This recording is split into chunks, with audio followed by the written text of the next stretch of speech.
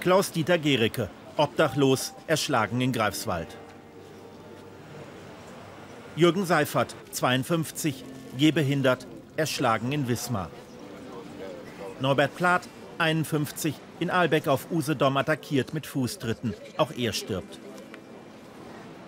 Einige dieser Taten wurden schon immer als rechtsextrem motiviert bewertet, andere nicht. Bei Klaus-Dieter Gericke zum Beispiel sah das Gericht einen Raubmord.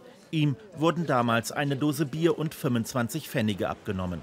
Musste er allein deshalb sterben? Journalisten des Tagesspiegels und der Frankfurter Rundschau bewerten den Fall anders. Sie sehen, anders als das Gericht, einen rechtsextremen Hintergrund. Jetzt überprüft das Bundeskriminalamt solche strittigen Fälle neu. Bisher mussten mehrere Kriterien wie Obdachlosigkeit, ausländische Opfer oder die Zugehörigkeit zu einer Religionsgruppe erfüllt sein. Jetzt reicht ein Kriterium und der Fall wird erneut überprüft. Man will gründlich sein, nicht, dass wie bei der NSU-Mordserie etwas übersehen wird. Deshalb hat das Schweriner Innenministerium jetzt fünf bisher ungeklärte Fälle an das BKA gemeldet. Das äh, BKA hat einen neuen Maßstäbe angelegt, in denen weniger Kriterien äh, möglicherweise schon zu dieser Betrachtung führen können. Und insofern haben wir fünf weitere Fälle gemeldet. Die werden jetzt geprüft, auch ob Schnittmengen mit anderen Ländern besteht.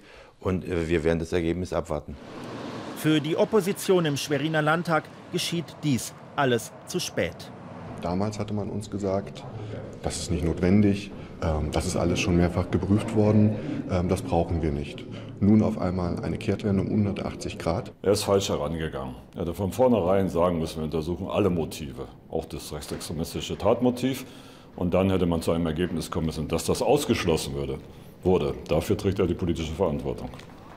Klar aber bleibt auch, es muss keineswegs so sein, dass die ungeklärten Fälle, die jetzt gemeldet werden, tatsächlich später durch das BKA als rechtsextrem bewertet werden.